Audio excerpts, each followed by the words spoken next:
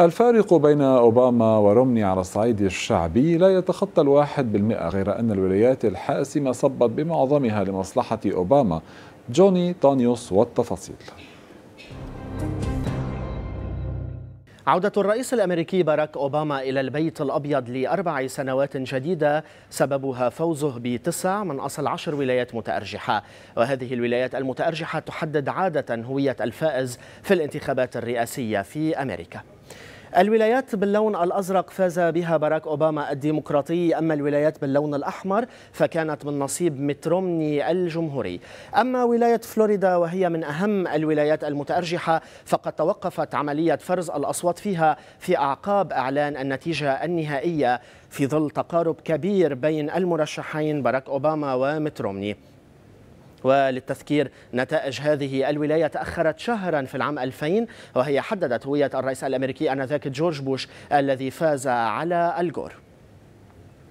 ولاية أوهايو فاز بها باراك أوباما. هذه الولاية يعول عليها الجمهوريون لأن تاريخيا كل رئيس جمهوري وصل إلى البيت الأبيض. فاز بهذه الولاية على قاعدة طريق الجمهوريين إلى البيت الأبيض تمر بأوهايو.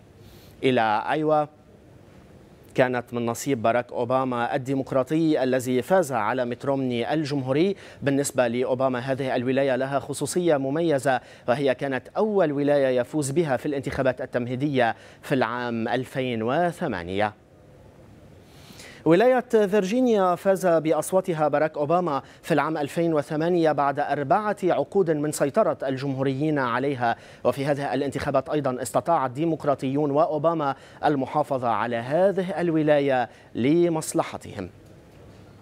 ننتقل إلى ويسكونسن التي حسمت فيها النتيجة لصالح أوباما بنسبة 52% مقابل 47% لمت رومني.